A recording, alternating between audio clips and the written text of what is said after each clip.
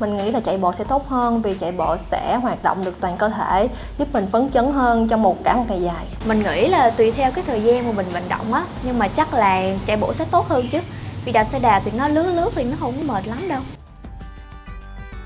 Tập thể dục sẽ giúp chúng ta có một sức khỏe tốt, cơ thể dẻo dai, phòng chống bệnh tật. Buổi sáng được đánh giá là thời gian tập luyện tốt nhất trong ngày, giúp người tập có tinh thần sảng khoái, dồi dào năng lượng để bắt đầu một ngày làm việc, học tập hiệu quả.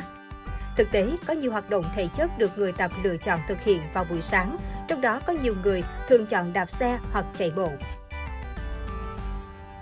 Đạp xe hay là chạy bộ thì nó đều là những cái hoạt động người ta gọi là cái à, à dạng tập thể dục hay cardio. Có nghĩa là nó sẽ làm tăng nhịp tim tăng nhịp thở. Nó làm cho cái tim của mình sẽ khỏe hơn luyện tập cho trái tim của mình khỏe hơn. Bởi vì khi mình vận động như vậy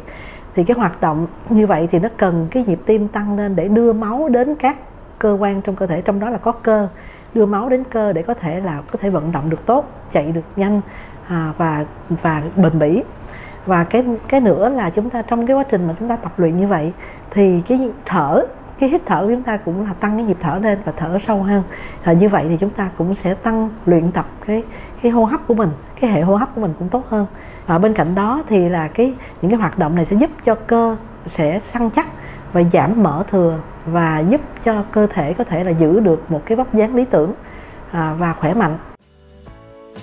Bên cạnh các lợi ích về sức khỏe, chúng ta cũng cần thận trọng để tránh các rủi ro chấn thương giữa hai môn thể thao này. Trên thực tế, mặc dù không ghi nhận thường xuyên, nhưng chấn thương trong quá trình chạy bộ hay đạp xe đều có thể xảy ra, từ mức độ nhẹ cho đến nặng.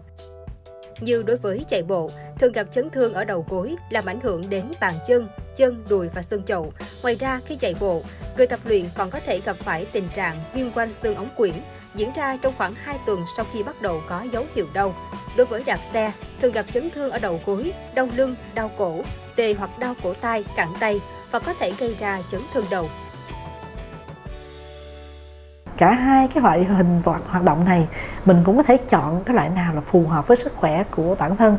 À, và cái loại nào mà mình cảm thấy là thích, cảm thấy là có thể gắn bó, có thể là tập luyện thường xuyên mỗi ngày. Bởi vì cái việc tập luyện nó chỉ có giá trị khi chúng ta thường xuyên vận động, ít nhất cũng phải là 30 phút trong một ngày và 5 ngày trong một tuần. Đó là cái khuyến cáo đối với một người bình thường còn trong trường hợp chúng ta cần giảm cân thì phải tăng lên ít nhất cũng phải là 60 phút trong một lần tập và cái cường độ phải từ trung bình trở lên còn đối với những người mà có tuổi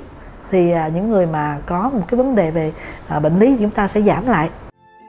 theo các chuyên gia, mỗi môn thể thao đều có những lợi ích khác nhau, nhưng cùng một mục đích là đem lại nhiều lợi ích về sức khỏe. Chính vì thế, người tập luyện cần lựa chọn cho mình một loại hình vận động yêu thích và duy trì nó để có kết quả luyện tập tốt nhất.